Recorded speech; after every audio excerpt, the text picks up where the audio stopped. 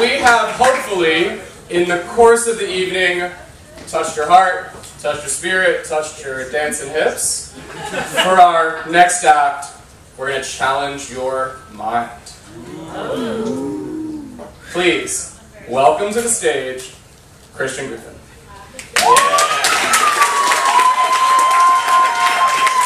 Okay, so I did not prepared for this, and I was sitting like right there, and I was like, "Am I going to do this, or am I not going to do this?" So I got went backstage, and I was like, "Okay, we're going to do it." Um, so I'm applying to med school this year.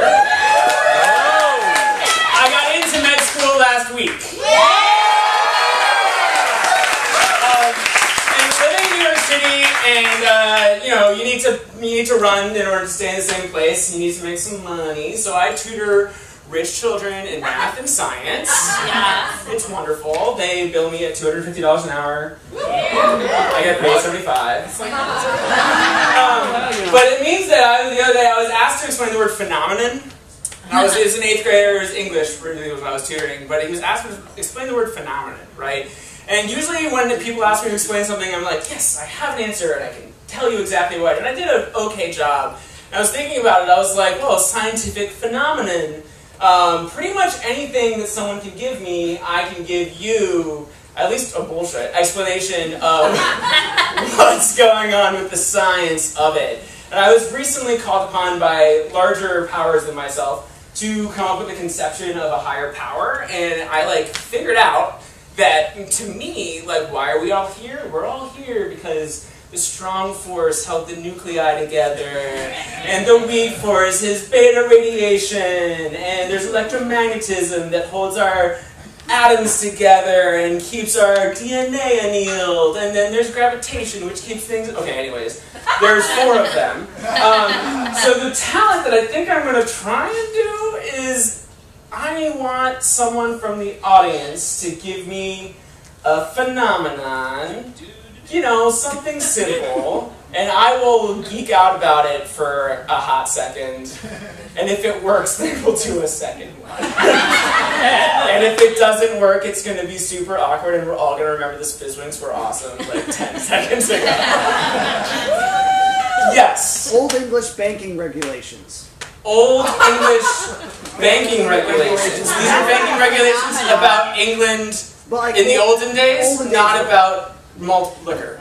Yeah, not about. We're talking like the South Seas. We're ta- I'd like to know about the South Seas Company.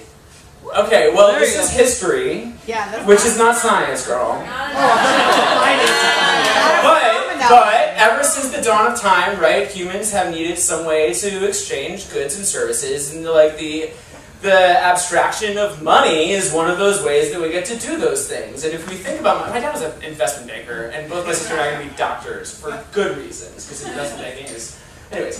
Um, as much as I kind of shit on those abstractions and hate, like I just want to plug in my income to a big bucket and plug in all of my like outflowing money into the same bucket and just hope the level of the bucket stays where it's supposed to be. Like I don't want to have to plan at all. I appreciate that that abstraction, Old English banking regulations, has let our society flourish, and capital investments means that we can build things like huge fucking boats. yeah.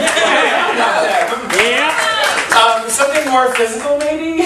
Yeah, right over here. Spooky action at a distance. Say that again. Spooky action at a distance. Woo! Spooky act. Is this a reference that I really don't understand? It's a Glenn Redford Quantum song. mechanics. It's a reference to quantum mechanics. Yeah, spooky action. Quantum entanglement. Quantum. Okay, so oh, spooky action. Oh, I understand. Yeah, I flip this. I flip this neutrino over here, and that neutrino flips over there as well. Exactly. Well, so okay, I you know what we know about the world is like we think we know a lot, right? And like okay, and Zola's a doctor, almost a doctor. I don't know if you guys didn't know that. She's a fourth year med student, so she's a badass.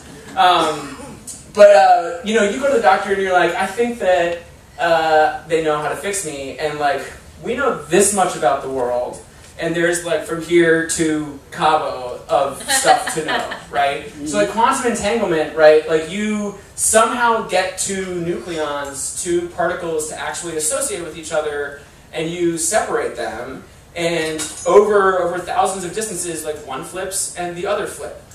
How the fuck does that work? The point is that we still don't fucking know, and what that really means is that we don't know way more than we actually know. And and with like like there could be a connection that connects them, right? Like right now, hundreds of millions of neutrinos are flowing through our bodies. We didn't, we don't feel it, right? Um, and like, you know, I was thinking about this the other day. You know, like waves. Okay, waves only interact with things that are about the same size as they are. So if the wave is larger than you, it doesn't interact with you. This is why radio waves are safe and they're everywhere. They're passing through our bodies, whereas gamma rays are itsy bitsy and we'll fuck you up, right? so like, Yeah, baby. um, if you are like an alien, like, could it be that aliens are just like really big waves? And like, we're not gonna, like, they are here right now. They're here right now, and we don't know they're here because they cannot interact with us, and they don't know we're here because they cannot sense us. So, anyways, um, one more thing, and then I'll get out of your heads.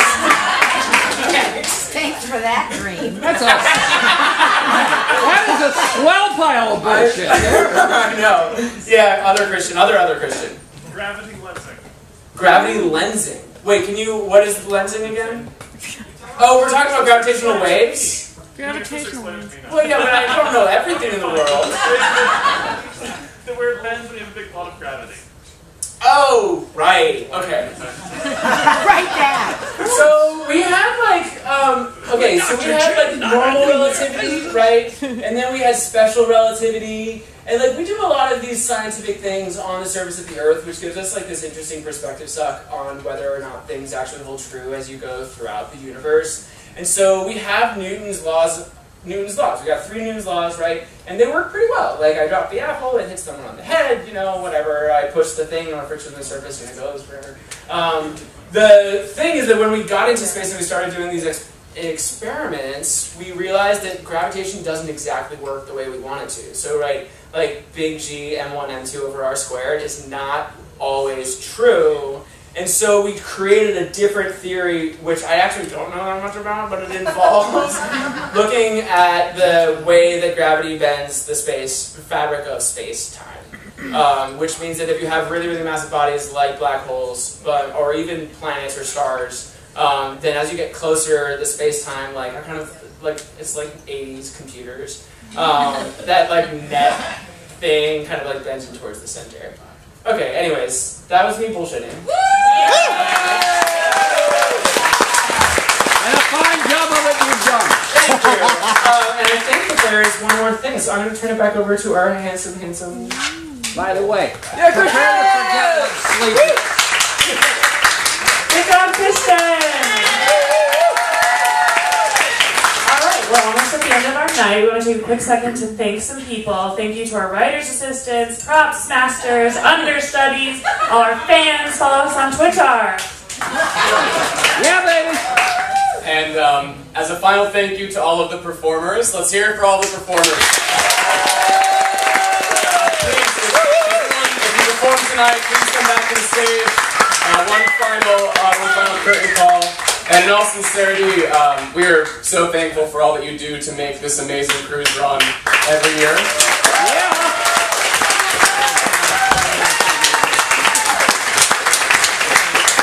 So, uh, so thank you very much. We have one more performance tonight, and uh, the person performing is all of you and us. We're going to make a conga line. So start it up here, start it up here. Audience members, come on up, join the conga line, start it over there. If I don't see everyone in this room connected in one conga line, I'll feel sad. of the line in which direction? I'll be the head of The head of the line is right here. So, thank you all for joining us tonight. We're going to end this the way that we end every single staff talent show in a conga line. All the staff talent shows will end like this. Thank you. Thank you. Good night. One second.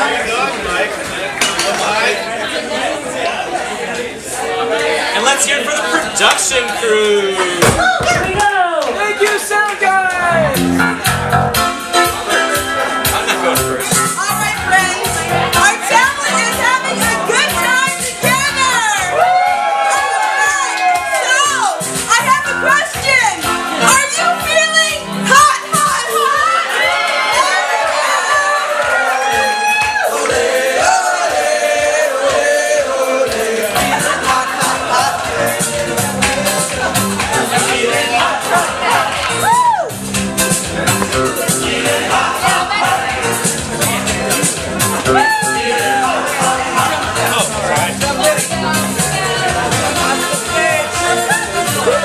Big step. Safety first.